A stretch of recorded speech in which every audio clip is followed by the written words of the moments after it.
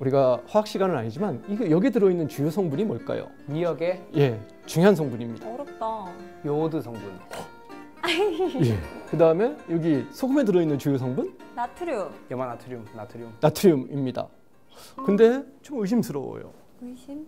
왜 그러냐면 요오드가 사라졌어요. 요오드라는 말이요? 네, 지금 학교에서는 그렇게 안 하고 있어요. 요오드가 사라졌어요. 큰일 났어요.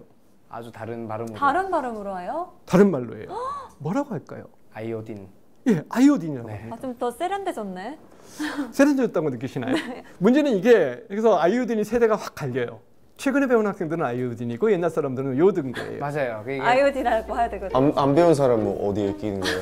그럼 둘다 쓰셔도 돼요. 둘 다다 포용해서 지금 안 익히면 되지. 아이오딘으로 딱. 자 그러면 이거 왜 바뀌었을까요?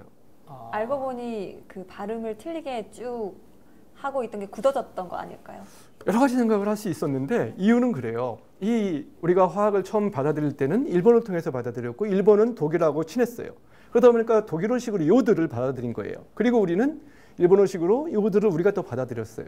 근데 최근에 화학 선생님들이나 뭐 다른 과학 선생님들이 그러니까 영어권에서 공부한 사람들이 많고 당신들이 보는 책이 대부분 다 영어 책인데 거기는 요드라고 안 나오고 아이오딘이라고 나온 거예요. 음. 그러니까 불편해요 선생님들이 아니 내가 보는 책에서는 요드가 아니고 아이오딘인데 왜 다 요드라고 애들한테 가르쳐야 되느냐 그래서 바꿨어요 아. 음. 어떻게 좀 맞는 건가요 틀린 건가요 그러면 조금 더 지금 시, 세, 지금 시대를 좀 반영했다고 할 수 있겠네요. 이 그렇죠. 그러니까- 원어에 더 가까운 발음이 나온. 그러면 요드 말고 요드 말고 저 나트륨은 음. 바꿀까요 말까요 나트륨은 안 바꿔요. 익숙하니까 놔두면 안 될까요? 아 맞는 말이 요드를 아이오딘이라고 하면은 나트륨은 뭐라고 해야 되냐면 소디움이라고 해야 돼요 아, 소디움. 그래요? 소디움이라고 해요 소디움 어 근데 그거는 안 바꾼 걸까요 못 바꾼 걸까요 못 바꾼 못 바꾼 거죠. 걸까? 왜 그랬을 것 같아요 비슷한 게 있었던 거죠. 비슷한 게 비슷한 있어서? 게. 가 게. 아니라 네. 여러분들이 무서웠던 거예요.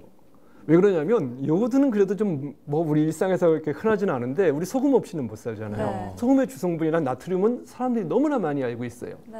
이걸 만약에 소디움으로 바꿨다면 아. 난리가 나는 거예요. 음. 아니 그걸 왜 바꾸냐고 아, 도대체. 사회 전체적으로 약간의 일렁일 수 있겠네요. 음. 그렇죠. 아니 멀쩡한 걸 왜 바꾸? 나는 이제까지 나트륨으로 알고 있었는데 왜 갑자기 소디움이야? 음. 아니 그렇게 하려면 칼륨도 포테슘으로 바꿔야 되고 다 바꿔야 되는 거예요. 아. 근데 칼륨, 칼슘 바꾸기도 또 쉽지 않을 것 같아요. 어. 그 선생님들조차도 결국은 말의 주인들을 두려워하게 되는 거죠. 음. 내 마음대로 다 바꿀 수 있는 게 아니라 결국은 그 반발이 두려워서 당신들 말대로 못하게 되는 거예요. 음. 이것이 이제 하나의 어떤 말의 주인이 누구인가는 증거가 될 수 있는 거죠. 음. 자, 그래서 말의 주인은 국어 선생님도 아니고 국립국어원 원장도 아니고 바로 누구냐면 여러분 스스로예요. 우리 모두예요. 그래서 우리 모두가 동의하에 우리 모두가 이해할 수 있는 이걸로 말이 정해지고 말이 변화하게 되고 발전하게 되는 거거든요. 이 생각들을 우리가 다 가지면서 이 시간을 계속해서 항해를 해봤으면 좋겠습니다.